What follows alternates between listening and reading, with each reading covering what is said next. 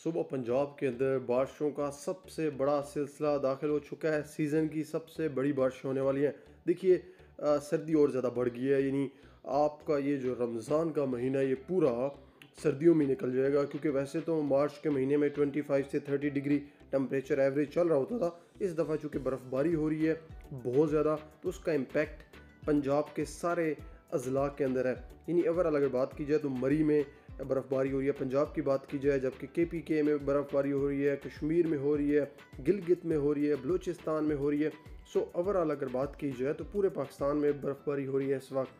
मियाँ वाली, खुशाब, सरगोधा पखर डीजी खान लिया चंग, फैसलाबाद, उकाड़ा, लाहौर, गुजरावाला, अटक, रावलपिंडी, मरी और गिरदोनवा में तेज़ हवाओं और गरचमक के साथ हल्की बारिश का इम्कान है। यानी ये बारिशों का नया सिलसिला है जो पाकिस्तान दाखिल हुआ है और पंजाब में अब दाखिल हो चुका है, जिसकी वजह से अगले चंद रोज़ शदीद बारिशें होंगी और मौसम शदीद ठंडा रहेगा।